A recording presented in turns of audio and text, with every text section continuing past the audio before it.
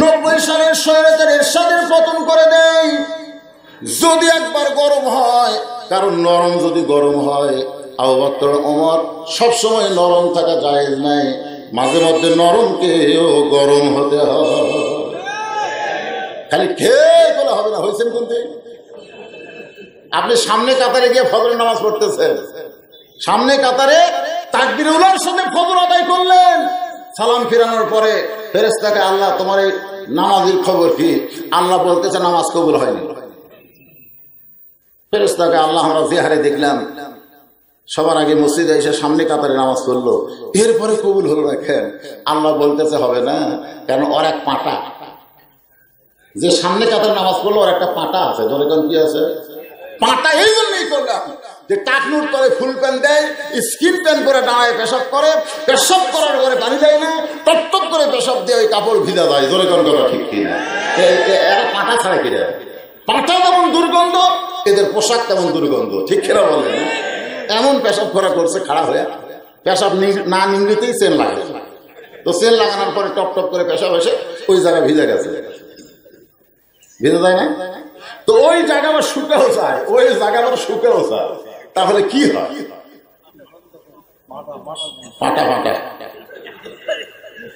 সামনে যাদের নামাজ পড়ে, তার এক পাটা। আজানের আগে আসিল সাড়ে তিন হাত। ফজরে আজান দিতে হলে আড়াই হাত। আজানের আগে কয় হাত? আজানের আগে পাটা আসলো সাড়ে তিন হাত। যে আজান দিচ্ছে আজানের শব্দ শুনবে না বলে ল্যাপ তুলে দিছে কানের তা কানের উপর ল্যাপ দিলে পাঁচতে বাড়াবে এখন পাও টেনে এনে বুকের মধ্যে রাখছে। আপনি বাহির থেকে মনে করবেন চাউলের বস্তা ঠেকাতে আগাও নাই পাশাও নাই, গেল কোথায়? যদি ল্যাপ টান দেন, আপনি দেখবেন ল্যাপের ভিতরে সাইজ আর সাইড টিভি কুত্তের সাইজ একই সাইজ আল্লাহ বলেছেন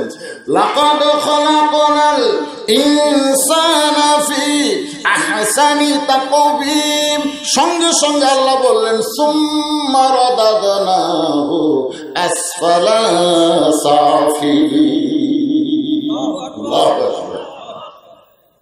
তো এখন বাবা নামাজ পড়ে, বাপ নামাজ পড়ে না। আপনারা কি মনে করতেছেন, বাবার নামাজ কবুল হবে? এই কথা কবুল হবে? কেন হবে না? কারণ নামাজ পড়ার কথা নাই, নামাজ কায়েমের কথা আছে, জোরে কোন কথা ঠিক কিনা? এখন নামাজ কায়েম করতে গেলে বাবাকে একটু গরম হওয়া লাগবে, একটু গরম।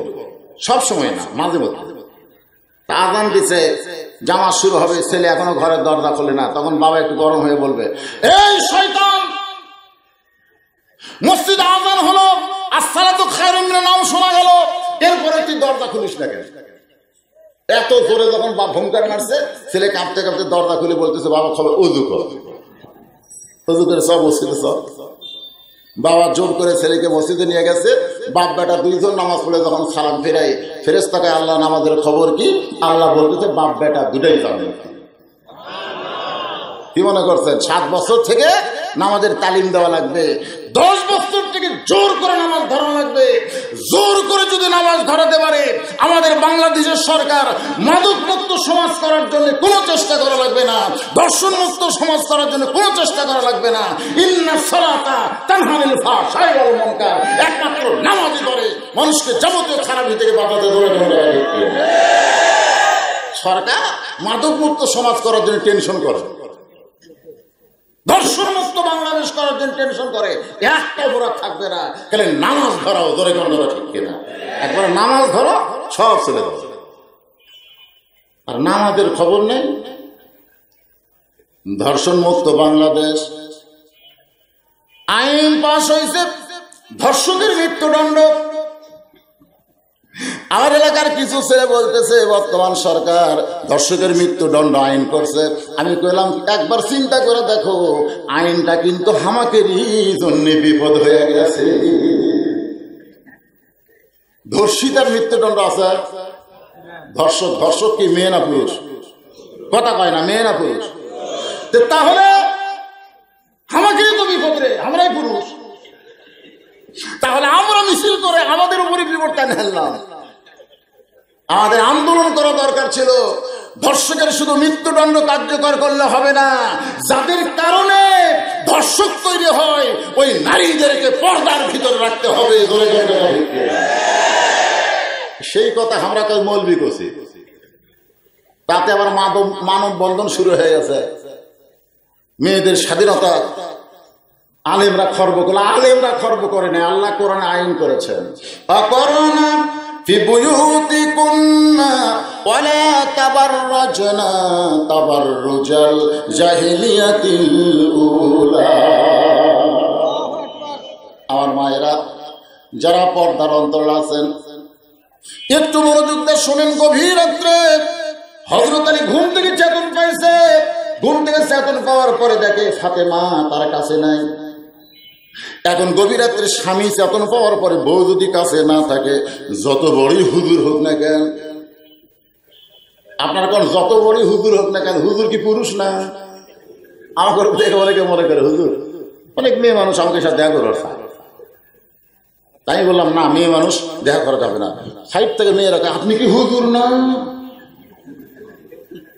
আপনার সাথে দেখা করলে অসুবিধা কি? আপনি তো হুজুর। আমি কল আমি হুজুর হলে আমার বউ আছে রে। আমি তিনটা মেয়ের বাপ, এমনি এমনি হচ্ছি আপনার কি মনে করছেন? এখান থেকে রাত্রে যখন বাড়ির যাব, বাড়ির যে টুপি মাথার দিয়ে যদি বউকে বলি, দশ মিনিট শোনো দশ মিনিট। আমার বউ বলবে, টুপি খোলো দুব্বা খোলো। এটা হুজুরগিরি বাদ দাও এখন বইয়ের কাছে আইসো, কিসের হুজুর? তখন আর হুজুর আছি। আপনারা কি মনে করেন, মেয়ে মানুষ দেখলে আমাদের মন কিছুই কয় না?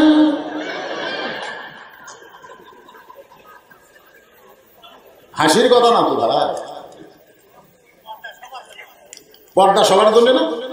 সবার জন্য পর্দা, কারণ পর্দা হলো আল্লাহর আইন। আজকে আমাদের বাংলাদেশের একজন গায়িকা বলে মনের পর্দা, বড় পর্দা। শরীয়তে বুঝলো না। ওরে শরীয়তের মৌলানা, চোখ দুইটা করলা কানা। তেতুল হুজুর বুঝলো না। তেতুল হুজুর, আমাদের বানাছে তেতুল হুজুর। মনের পর্দা, বড় পর্দা। এইটা কোনোদিন মুসলমান মানতে পারে না। কারণ পর্দা হলো আমার আল্লাহ। একটু মনোযোগ দিয়ে শুনবেন। অতাও বাকলমর যেই কথা একবার বলেছ, সেই কথার দ্বিতীয়বার বলব না। উমর ফারুক তিন ধাপ পিছনে গিয়ে বলতে চাও বক্তর ভাই, আপনি নরম মানুষ, এত গরম হলেন কেন জানতে চাই? আবু বক্তর হলে ওমর সবসময় নরম থাকা যায় না, মাঝে মধ্যে নরম কেউ গরম হতে জোরে এখন যদি কোনো সময় আপনাদেরকে গরম হওয়া লাগে, হবেন? হবেন? কীভাবে হবে?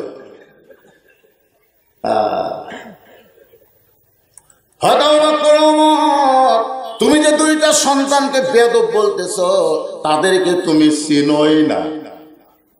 কথাটা কিন্তু গুরুত্ব দিবেন।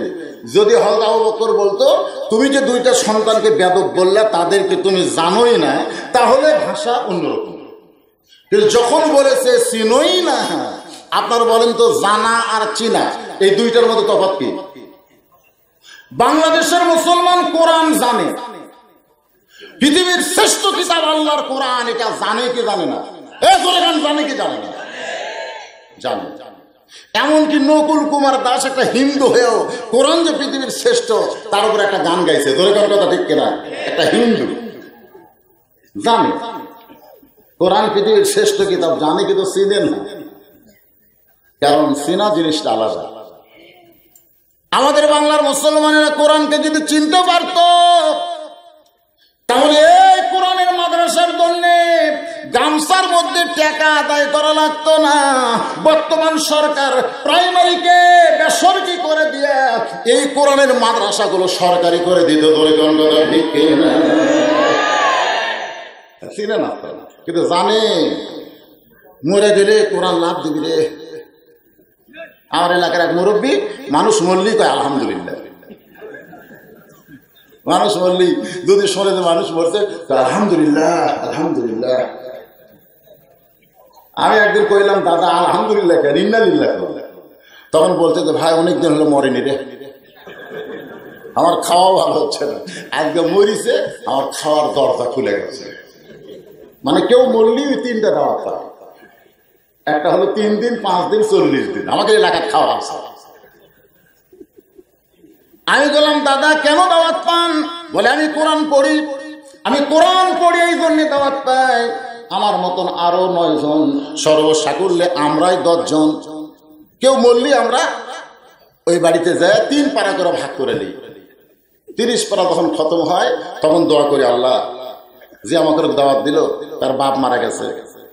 আমরা তিরিশ পারা কোরআন খতম দিয়ে দোয়া করি, আল্লাহ এই সব সব তার রুহে দিয়ে জান্নাত দিয়ে দেওয়া। আমি বললাম, দাদা, আপনারা যে দোয়া করলেন, এটা কি কবুল হবে?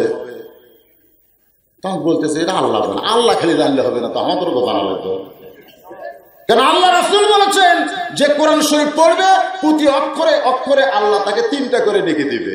আলিফ, দশ নেকি লাম, দশ নেকি মিম, দশ নেকি আপনি যখন কোরআন পড়ছেন, তখন আপনার কান্দের ফেরেস্তা তো আপনার নামই লিখি নেকি লিখছে। তা আপনার পড়াও শেষ, নাকি লেখাও শেষ। তাহলে আমার সালাম কীভাবে দিলেন? দু মুখকে সালাম দিলেন। এই সালামটা কীভাবে দিলেন? তখন আমার দাদা বলতেছে, এই খবরদার কাউকে কোষ না ভাই, তাহলে কিন্তু আমাকে খাওয়া বন্ধ হয়ে যাবে আজকে আমাদের মতন কিন্তু মনীষীরা, মানুষের কোরআন পড়াকে অন্তরায় করে দিছে। শুনে নেন, কোরআন মরা মানুষের কিতাব না, কোরআন হলো জীবন্ত মানুষের হেদাতের খোরাক ধরে মরিয়া গেলে কোরআন সারা জীবন কোরআনের বিরুদ্ধে চরণ করছে। কোরআনের হক কথা শুনলে কলজাতে আগুন লাগিছে। আর মরিয়া গেছে, ওরই জন্য কোরআন খতম দিয়ে দোয়া পড়তেছে ইয়ের কি মর কি, কোরআন নিয়ে কোন ইয়ার কি চলবে? সুরা মুলকের দুটো আয়াত। তাতে রাত যা হয় হোক, আদায় হয়ে গেছে, অসুবিধা? আল্লাহর বান্দারা একটু মনোযোগ দিয়ে শুনবেন। আবু বকর ওমর, তুমি যে দুইটা সন্তানকে বেদব বললে, তাদেরকে তুমি চেনই না। ওমর ফারুক চোখের পানি বের করে বলে, আবু বকর ভাই, চিনবো না কেন? এরা হলো আলিয়ার ফাতেমার সন্তান। ঠিক বলে না কার সন্তান? আলী আর ফাতেমা। এখানে হজরত বলতে পারতে এরা দুইজন আলীর সন্তান। কিন্তু শুধু আলী না বলে ফাতেমা যোগ দেওয়ার কারণ কি? বর্তমান যে সরকার ক্ষমতায় আছে, এই সরকারের আগে যারা ক্ষমতায় ছিল, আমি তখন বিয়ে করছি নব্বই সালে।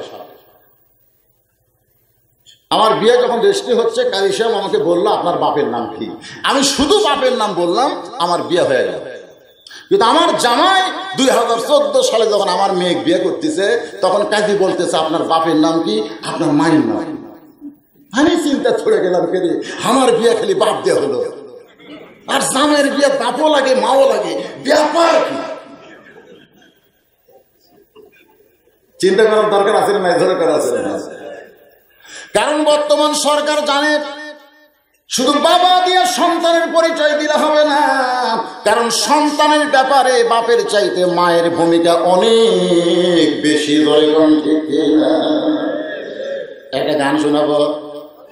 বাবা আনন্দে মাতিয়া সাগরে ভাসাইয়া সেই যে চইলা যায়, খবর লয় না। মাজন ধরিয়া উদরে, কতই যতন করে, দশ মাস পরে পায় প্রসবের বেদনা।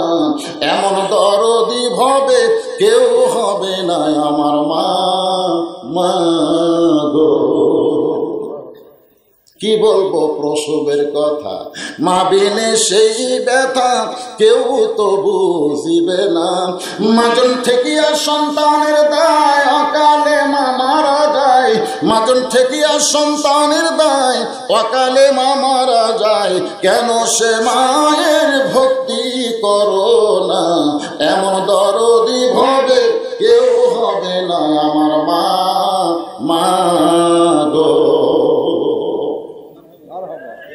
এটা কি আমার কথা না আল্লাহ বলছে? কোরআনে আছে না নাই? অবশ্যইনাল ইনসান বিওয়ালিদাইহি ইহসানান হামালাতুহু উম্মুহু উম্মুহু মানে তোমাদের মা। তাহলে হজরত ওমর সাড়ে চোদ্দশো বছর আগে বললেন, এই দুইজন হলো আলী আর ফাতেমার সন্তান। ওমর ফারুক বুঝাই দিলেন, শুধু আলীর পরিচয় দিলে হবে না, কারণ সন্তানের ব্যাপারে মায়ের ভূমিকা এত বেশি। আল্লাহর বান্দা ইমাম গাজ্জালি বলেছেন, তোমরা কি জানো, সন্তান পেটে আসলে মায়ের মাসিক ব্যারাম বন্ধ হয়ে যায় কেন? প্রত্যেকটা মেয়েদের মাসে তিন দিন, পাঁচ দিন, একটা করে অসুখ হয় কি হয় না? জোরে হয় কি হয় না? যখন এই অসুখ হয়, তখন মেয়েদের জন্য নামাজ পড়া যাবে না। রোজা করা যাবে না এমনকি আপনার বউ কাছে থাকলেও আপনি কিছু করবার কি অসুখ রে, কি অসুখ। কিন্তু যেই সন্তান পেটাইছে, সঙ্গে সঙ্গে আল্লাহ অসুখটা বন্ধ করে দিচ্ছে। কেন দিয়েছে? ইমাম গাজ্জালি বলেন, সন্তান পেটে আসার পরে মার আল্লাহর ইবাদতের যেন কোনো ঘাটতি না হয়, কারণ মায়ের সাথে পেটের বাচ্চার সম্পর্ক আল্লাহ করে দেয়। খালি মা খালে সন্তান খায় তা কিন্তু না। মা যখন পেটে বাচ্চা নিয়ে নামাজ পড়ে, বাচ্চা পেটের মধ্যে এরকম দমড় খায়। রুকুর থেকে যে শেষ দাঁত গেছে, পেটের মধ্যে বাচ্চা দমড় খাচ্ছে ফেরেস্তাকে আল্লাহ, তোমার বান্দি নামাজ পড়ে, পেটের বাচ্চার যে কষ্ট হয়, আল্লাহ বলে ফেরেস্তা সাক্ষী থাক! যেই মা পেটে বাচ্চা নিয়ে নামাজ পড়ল, ওই মা শুধু নিজে নামাজ পড়ল না, পেটের বাচ্চাকে নামাজের ট্রেনিং দিল। এই জন্য একটা খ্রিস্টান নেপোলিয়ান বলেছে, তোমরা যদি ভালো একটা সন্তান চাও, ভালো একটা মা লাগবে তো। আজকে যারা রাস্তা ঘুরতেছে বদলুশিদের নাম শোনার পরেও কোরআনের আকর্ষণে যারা মাহফিলে আসলো না, রাস্তায় ঘুরঘুর করতেছে, ওই ছেলেদের কোনো দোষ নাই। কোনো দোষ নাই। দোষ হলো ওর মায়ের। ওরা যখন মায়ের পেটে ছিল, মা তখন পেটত নিয়ে গোটা পাড়া ঘুরিছে, ওই পেটের মধ্যে ঘরণী বেরাম পাশে পেটের ভিতর থেকে। বুঝলেন? মা, এই মা যারা পর্দার ভিতরে আছেন, শোনেন হজরত আলী চমকে গেছে, কারণ ঘুম থেকে উঠে দেখে বউ নাই। মনে আছে না ভুলে গেছে? আপনারা মনে করবেন হুজুর ভুলে গেছে, এই হুজুর। ওয়াদের সেখানে দেয় না কেন, লাইন ঠিক।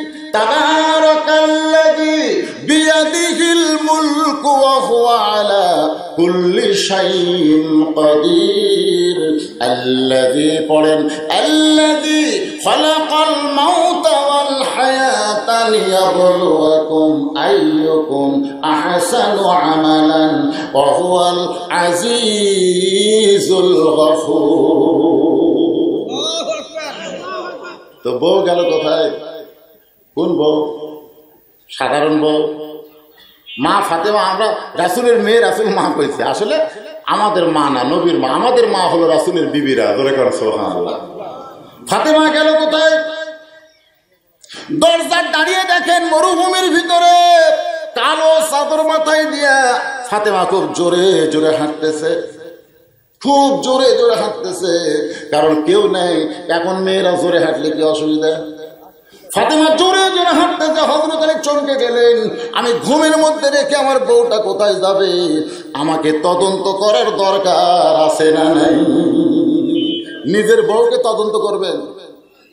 আল্লাহ যখন হয়তো আদমকে জান্নাত থেকে বের করে দিচ্ছে, তখন আমাদের বাবা আদম চোখের পানি নিয়ে বলতেছে, আল্লাহ, আমার সাথে অন্যায় করাকে আপনার ঠিক হচ্ছে? বিনা দোষে দোষী কইরা আল্লাহ, আদম দিলা জেলখানা আল্লাহ। উপায় বলো না, জনম দুঃখী কপাল পোড়া মানুষ, আদম একজন। আল্লাহকে আদম তোমার দোষ নাই, তুমি কেমনে বুঝলে? আদম বলতেছে, আমার বিবেক আছে। আপনি কি মনে করতেন, আমার বিবেক নেই? মস্ত বড় কথা, বিবেক। বিবেক যদি ভালো থাকে সবচাইতে বড় আদালতের নাম হলো বিবেক। আজকে আমি বিচারপতি হচ্ছি আমি বিচার করতেছি কিন্তু আমার বিবেক নেই। ভালো মানুষগুলো জেলখানায় থাকবে, খারাপ মানুষগুলো জামিন পাবে। জোরে বিবেক না থাকলে বিচার কেমন হয়? ওই যে আমার ওয়াদে শুনছেন, পাঁচ বছর থেকে আমের বাগান করছে, জ্যৈষ্ঠী মাসে বাগানের মালিক দেখতে গেছে, আম ধরছে কিনা? যা দেখে গাছের ডালে বসে ছোট্ট এক ছেলে পাকাম কাটতেছে আর ব্যাগের মধ্যে ঢুকে। বাগানের মালিক রাগ করে কয়, আমি খাই নাই, আমার পরিবারের কেউ খাই নাই। তুই আমার কাছে তোর আম পাড়তেছিস, তোর বাপকে গিয়ে বিচার দিব। ছেলে খালি মুসকে মুসকে হাসে। বাগানের মালিক বলে, হাসিস কেন? ছেলে বলতেছে, আমার বাপকে কোথায় গিয়ে বিচার দিবেন? আমার বাবাও তো আর এক গাছত চড়ছে টাকায় দেখে, ওর বাবা আম পাড়তেছে আর খালি বস্তা ভরাইতেছে। গাছের নিচে বসে বলে, আল্লাহ, বিচার দেবো কার কাছে? বেটাও সো কার কাছে দিবে? সব আন্দোলন করে বিচার চাই বিচার চাই। কে বিচার করবে? বাপ চোর এ কথা বাপো চোর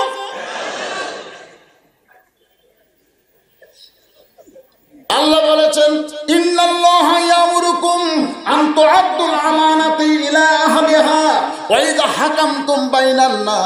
আন বাজান একটু মনোযোগ দিয়ে শুনবেন। আদম আলাহ সাল্লাম বলতেছেন, আমার বিবেক আছে। আল্লাহ আদম, তোমার বিবেক কি কয়? আদম বলতেছেন, গন্ধম কাছের কাছে যায়নি মেয়ে মানুষ, চিল্লাইতে, মা বোনেরা চিল্লাই নাকি এদিকে আছে? এই মায়েরা, চুপ করে। আদম সাল্লাম বলতেছে আমি গন্ধম কাছের কাছে যাই নাই। গন্ধম ফল আমি খাই নাই। হাওয়া আমাকে গন্ধম ফল খাওয়াই সেটা আমি বুঝবার পারি নাই। যখন বুঝবার পারছি, তখন আমি ঢুকিয়েছি বিমারি নাই। আমার ডান হাত কানা গলার মধ্যে ঢুকাই দিয়ে আমি রক্ত বমি করেছি। এখন বলো, আল্লাহ আমার দোষ কোথায়? আল্লাহ বলে, আদম আমি বলতেছি, তোমার কোনো দোষ নাই, তবে তোমার একটা ভুল হলো। একটা ভুল? বলো তো, আদম, হাওয়া তোমার কে হয়? আদম বলতেছে, আল্লাহ আমার বউ হয়। আল্লাহ বলে আদম হাওয়া তোমার কে হয়? আদম বলতেছে আমার বউ হয়। আল্লাহ বলে আদম হাওয়া তোমার কে হয়? আদম বলে আল্লাহ। একই কথা কেন বারবার বলেন? হাওয়া আমার বউ হয়। আল্লাহ কয়, আদম রে, যতক্ষণ তুমি হাওয়াকে বউ বলে স্বীকার করবে, হাওয়া যত অপরাধ করবে, এই অপরাধ শুধু হাওয়ার একলা হবে না অপরাধের স্বামীকে দেওয়া হবে। এখন আপনাদের বউ খেয়াল করার দরকার আছে না নাই? দরকার আছে না নাই? খেয়ালের নামে হলো তদন্ত করা। হজরত আলী নিরাপদ দূরত্ব বজায় রেখে ফাতেমার পিছনে পিছনে হাঁটতেছে। ফাতেমা কোথায় যায়, এটা নিজের চোখে দেখার জন্য। আর ফাতেমা জানে স্বামী ঘুম পাড়তেছে।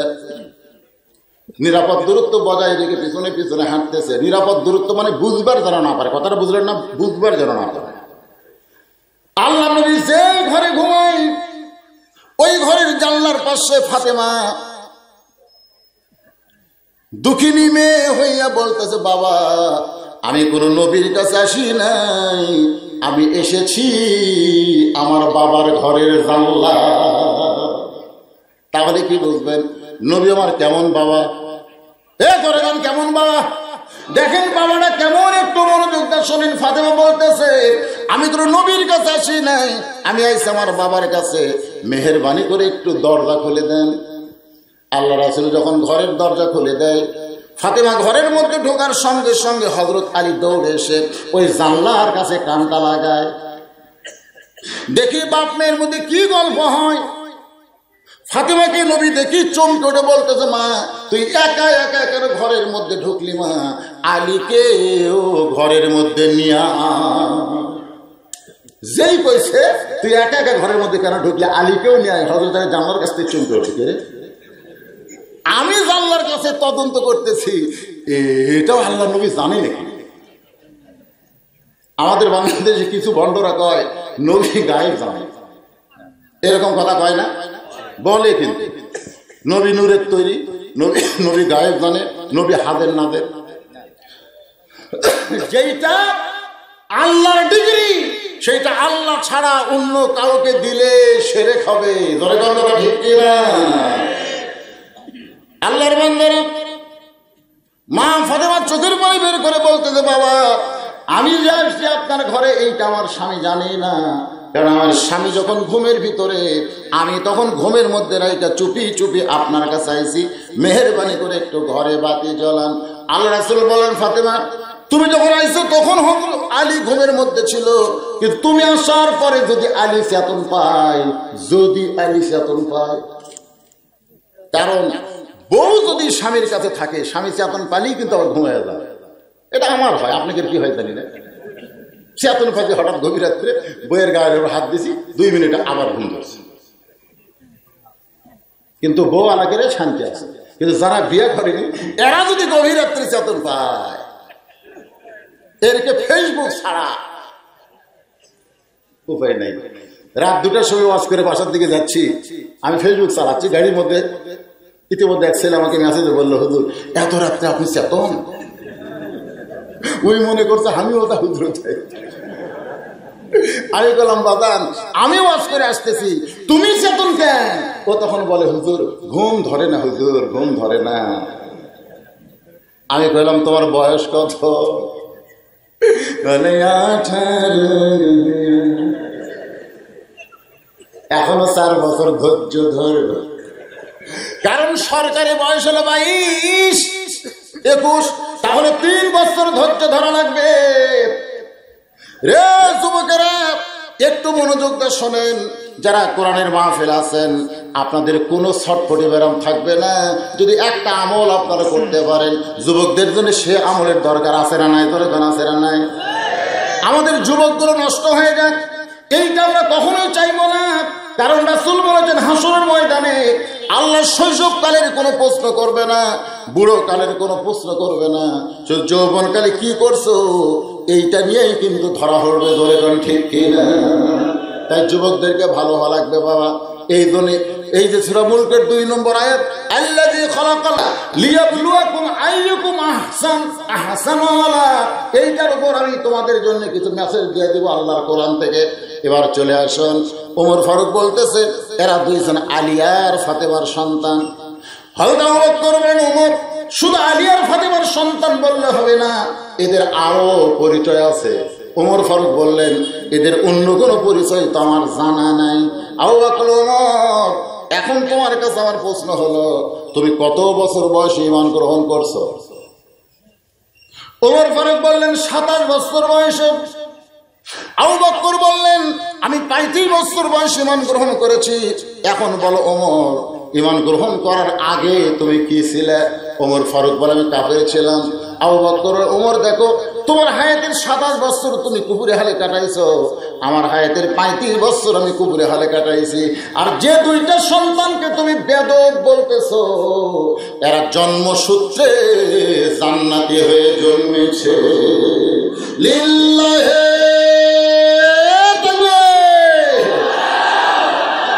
জন্মসূত্রে। জন্মসূত্রে জান্নাতে হয়ে জন্মেছে। আর আমরা জন্মসূত্রে মুসলমানের ঘরে জন্ম নিয়েছি। জোরে গান কথা ঠিক খুশি না বেজার? খুশি? আল্লাহ বলেছেন ولا نبلونكم بشيء من الخوف والجوع ونقص من الأموال والأنفس والثمرات وبشر الصابرين الله أكبر আসেন তাবারাকাল্লাযী বিয়াদিহিল মুলক গোটা পৃথিবীর রাজত্ব কর্তৃত্ব মালিকানা কার হাতে অহু আলা সমস্ত ক্ষমতার মালিককে। যারা বলতেছেন না, জবান বন্ধ করে রাখছেন। তিনটা তসবি, শোনেন, তিনটা তসবি। বলার সময় কেউ যদি ইচ্ছা করে, অলসতা করে জবান বন্ধ রাখে, মরার সময় তার মুখে কলমা উচ্চারণ হয় না। একটা হলো সুবাহানাল্লাহ, একটা হলো আলহামদুলিল্লাহ, আর একটা হলো আল্লাহ একবার তাহলে আপনারা আল্লাহ বলতে আপত্তি আছে? আছে? ফাতেমা বলতেছে, বাবা, একটু বাতি জ্বলান, একটু বাতি জ্বলান। হজরত আলী কিন্তু জানলার কাছে দাঁড়ায় আছে। আপনাদের কি মনে আছে? মনে আছে?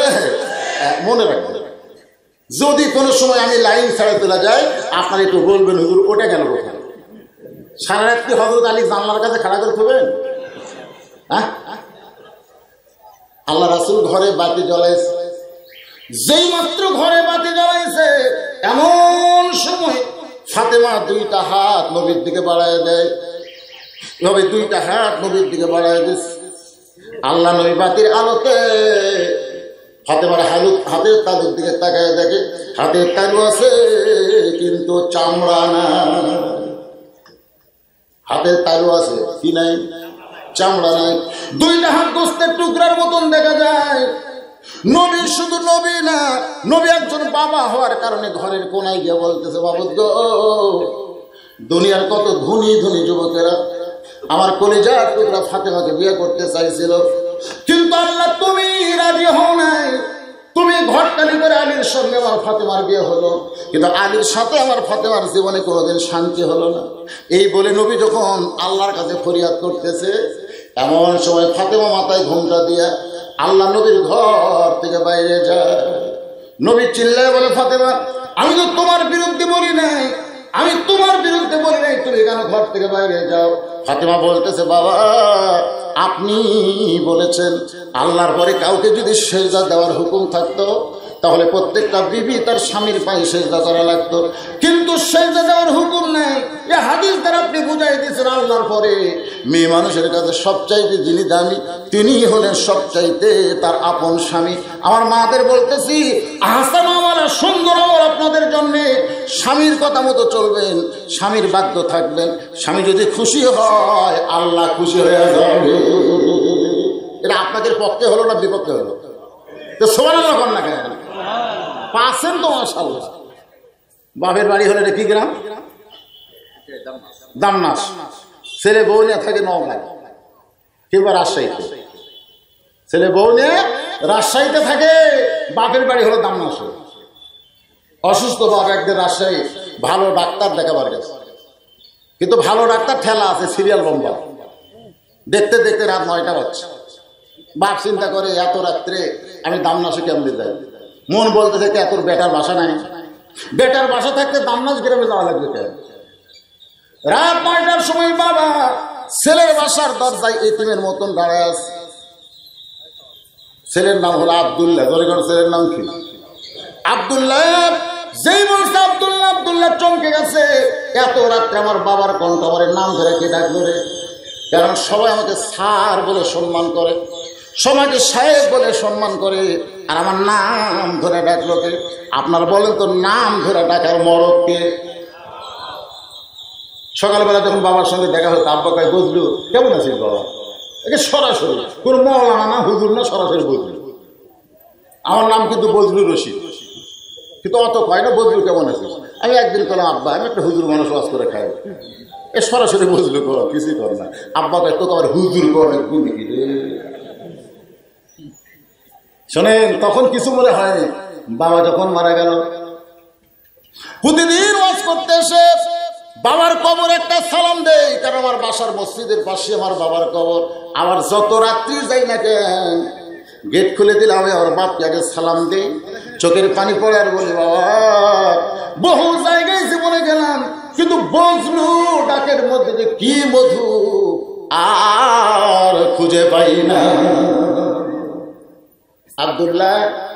যেই বলছে আবদুল্লাহ আবদুল্লাহ চিন্তা করে এত রাত্রে বাবার কণ্ঠ দরজা খুলে দেখে বাবা ইতিমের মতো। বাবা গো, আপনি তো আসবার সামনে এত রাত্রে কেন আইছেন? তাই পেলাত পুড়ে। ডাক্তার দেখতে দেখতে নয়টা বাচ্চে এখন দাম নাচ গ্রামে কেমনে যায়? এই জন্যই তোর বাসার দরজায়। চলেন বাবা, ভিতরে চলেন। এখানে রেস্টুরেন্টে বাবাকে বসায়, আবদুল্লাহ বইয়ের কাছে গেছে বউ কম্বল শুয়ে আছে।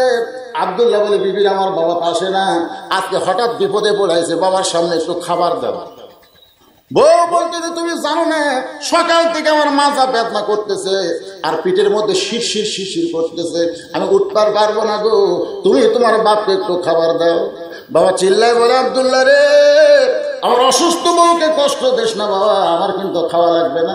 আমি বাহির থেকে খাইছি একটু থাকার জায়গা দিয়ে আবদুল্লাহ বলে, বাবা, সত্যি কি? তাই বলে হ্যাঁ একটু থাকার জায়গা দে। বাবা, শুকনো আমাকে নয়টার সময় ঘুমায় গেছে। রাত যখন এগারোটা বাজে। এমন সময় আবদুল্লাহর শালা, ওর বইয়ের ভাই, আবদুল্লাহর শালা বুঝতেছেন না, আপনাদের এলাকায় কি কয় বইয়ের ভাই কি হয়? রাতে এগারোটার সময় ডাকতেছে শেফালি। বইয়ের নাম হলো শেফালি। শেফালি, আপা শেফালি আপা যেই শুনছে বিলাই যেমন ইন্দুর ধরার করে লাভ মারে, কম্বল ফেলে দেয় স্বামীর উপর দিয়ে মারছে লাভ আবদুল্লাহ শব্দ কিছু তাকায় দেখে কম্বল আছে, বউ নাই। বউটা গেল কোন জায়গায়? বউ দরজা খুলে ভাইকে বলতেছে, এত রাত্রে থেকে আসলি ভাই? বলে ক্রামবোর্ড খেলতে খেলতে রাত হয়ে গেছে। এখনকার ছেলেরা র্যাকেট খেলে ক্রামবোর্ড খেলে, টেহা কাহা দিয়া। ওটাও কিন্তু ক্যাসিনের মতন জুয়া হয়েছে? অনেক সময় দাঁড়িয়ে যাওয়ার সময় দেখি রাত দুটার সময় ব্যাট খেলতেছে। তিনি এত রাত্রে খেলে। পরে শুনলাম প্রত্যেক গেমে বাজি ধরে দুই হাজার টাকা। তাহলে ওটা কি? ওটা জুয়ানা ওটা জুয়ানা আজকের ছেলেরা কি করতেছে বাগান একটু খেয়াল করেন। শ্যালক বোনকে বলতে আপা ক্রাম বোর্ড খেলতে খেলতে রাত এগারোটা বাজছে। আমি একটু থাকার জন্য আইছি। থাকার জন্য বোন বলতে যে খালি থাকবি কেন? তুই খাবি না? বলে, এত রাত্রে খাওয়ার কি আছে? বলে, একটু ধৈর্য ধর, ডাইনিং টেবিল, চেয়ারে বসায় দিয়ে, মাছ গরম, গোস্ত গরম। সব গরম করে ভাইয়ের সামনে দিয়ে বলতে খা ভাই, তুই না খাইলে আমার কলিজার শান্তি নাই। আবদুল্লাহ মনে মনে চিন্তা করে, এত রাত্রে খা ভাই খা ভাই, খবর কি? বার হয়ে দেখে পাঁচ তরকারি গরম ভাত, শালার মাথায় বইয়ের হাত। কয় তরকারি? পাঁচ তরকারি গরম ভাত শালার মাথায় বইয়ের হাত খা ভাই আর এক টুকরা খা ভাই তুই না খাইলে আমার কলিজার শান্তি নাই। আবদুল্লাহ চুপি চুপি বাবা যেই ঘরে ঘুমায়, ওই ঘরের জানলার পাশে গিয়ে তাকায় দেখে জিরো বাল্বের আলোতে বাবার শুকনা মুখটা দেখতে পায়। আবদুল্লাহ চোখটা পানি পড়তেছে। আল্লাহর কোরআন সামনে এসে বলতেছে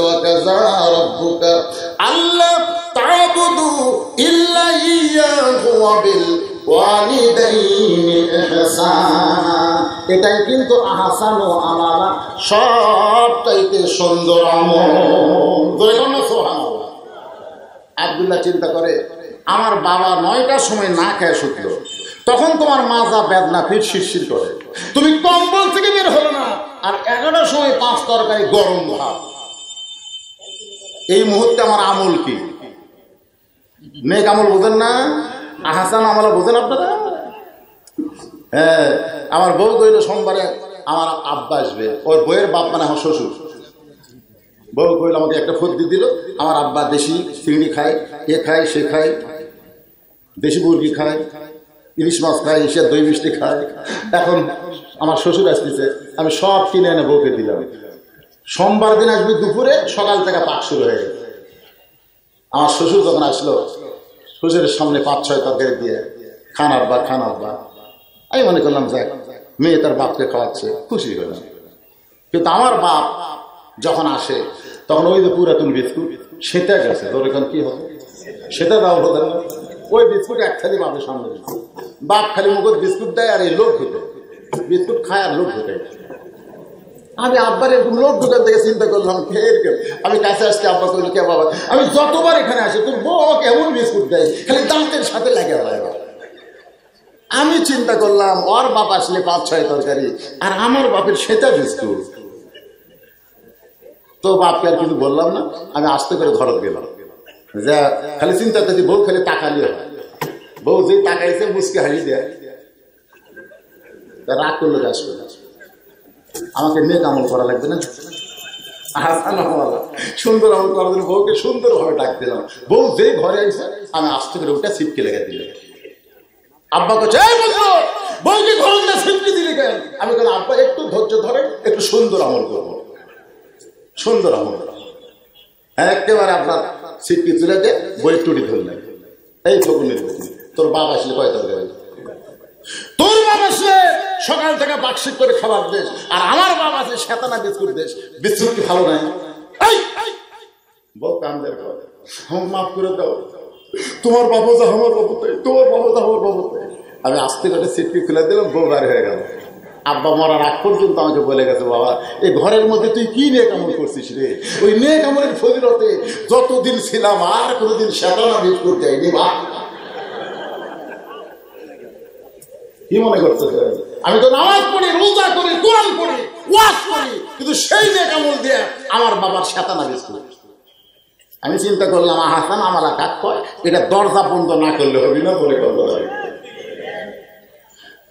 এখন আবদুল্লাহ মনে মনে চিন্তা করে, আমার বাবা নয়টার সময় না খাইয়া ঘুমাইল। আর সালার সামনে পাঁচ তরকারি, গরম ভাত, আমার আমল কি? আমি কি আমল করব? এমন সময় আল্লাহ তার বিবেক খুলে দিছে গোটা বাসা খুঁজে দেখে উটি বলানার একটা বেহালুন আছে। উটি বলা বলতে আপনাকে উটি বলেন নাকি? না হচ্ছে বেলুন। বেলুন। তো বেলুন পায়ে চিন্তা করতেছে, এটা আজকে আমল করা লাগবে। ভিতর থেকে বিবেক বলতেছে, পরিবেশ ভালো না। বউ মারবি? বউ যদি কেস করে, তোকে জেলে যাওয়া কারণ আজকে পুরুষ নির্যাতনের কোনো কেস নাই, নারী নির্যাতনের কেস আছে, জোরে ঠিক কিনা? আজকে প্রত্যেকটা বাড়িতে আমরা বইয়ের হাতে নির্যাতন হচ্ছে কথা ঠিক কিনা? কেস দিবেন কেস দিবেন। এক স্বামী থানাতে কেস দিছে, বউ তাই আমাকে রাত্রে ঘুমের বেলা বুকের উপর উঠে টুটি কাট করতে ছিল পুলিশ কয়, তুই কি হিজরা করে বউ তোর বুক তো টেকা? কি আসছিলে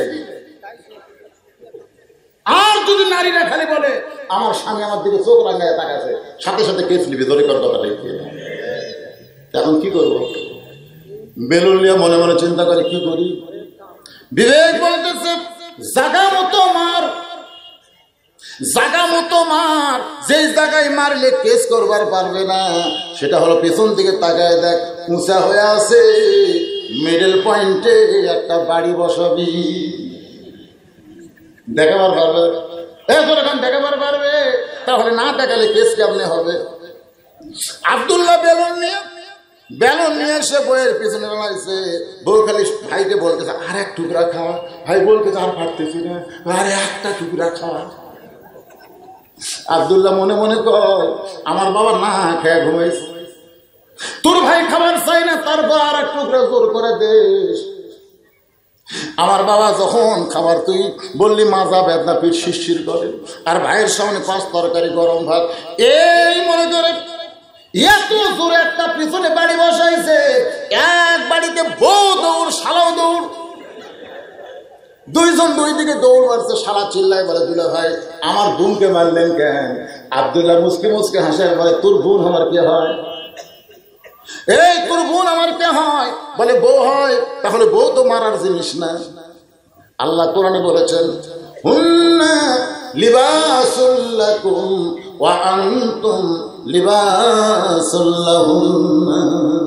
জিবরাল বলে রাসূলুল্লাহ, আপনি ঘরের মধ্যে কি আমল করতেছেন? দরজা বন্ধ করে। আমি জিবরাইল জানি না, কিন্তু আল্লাহর আরশ খুশি হয়ে গেছে। ওগো নবী, আল্লাহ আপনার উপর আয়াত নাজিল করেছে। আয়াত নাজিল করছে সোমানাল্লাহ কন না তাহলে বউ কি? বউ কি? আবদুল্লাহ বলতেছে, বউ তো আদরের, বউকে আদর করেছে আল্লাহ নবী, আমি আমার বউকে আদর করে, আমি দামনাথ গ্রাম বাদ দিয়ে আমি রাজশাহী বাসা বানাইছি, খালি তোর বোনের জন্যে। আমার এই বইয়ের জন্য বাসা করছি, সেই বউকে আমি কেন মানলাম? তুই কি দেখবার চাস তাহলে আয়। শালা বলতে আমাকেও মারবেন নাকি? বলে, তোকে মারবো না, তোকে একটু দেখাবার চাই এবার শালাকে নিয়ে গেছে, বাবা যেই ঘরে ঘুমায়। জানলাকে কেবল তাকে দেখতো ভিতরে মানুষটাকে ঘুম পাড়ে। বলে, আপনার বাবা কখন আইছে? বলে, নয়টার সময়। নয়টার সময় আইসে তোর বোন কইছে, মাজা বেতনা পিঠ শিরশির করে। আমার বাবা রাগ করে না, খাইয়া ঘুমাইছে। আর এগারোটার সময় তোর সামনে পাঁচ তরকারি, গরম ভাত। এখন বল রে সারা বল, আমার আমল কি? সারা বলতে দিল, ভাই আর একটা বসান। আর একটা কারণ এই মানুষের জাত না, এই বাপের আত্মীয় পছন্দ করে শ্বশুর আত্মীয় দুই চোখে দেখবার পারে না। আমার মায়েদের জন্য হাসান আমলা সুন্দর আমল হলো, শুধু বাপের আত্মীয় পছন্দ করলে হবে না, জামার স্বামীর আত্মীয়কেও পছন্দ করা লাগবে ধরে কোন কথা ঠিক কিনা? আমার মায়েদের জন্য আমলের কথা বললাম, এবার আমাদের জন্য আমল। আল্লাহ বলেছেন, লিয়াবলুয়াকুম, তোমাদের পরীক্ষা করা হবে। সুন্দর আমলের পরীক্ষা করা লাগবে ভাইজান। মনে বিরক্ত হবেন না, একটু মনোযোগ দিয়ে শোনেন। আমি যদি সুন্দর আমল করতে চাই, তাহলে সুন্দর একটা পরিবেশের দরকার আছে না নাই।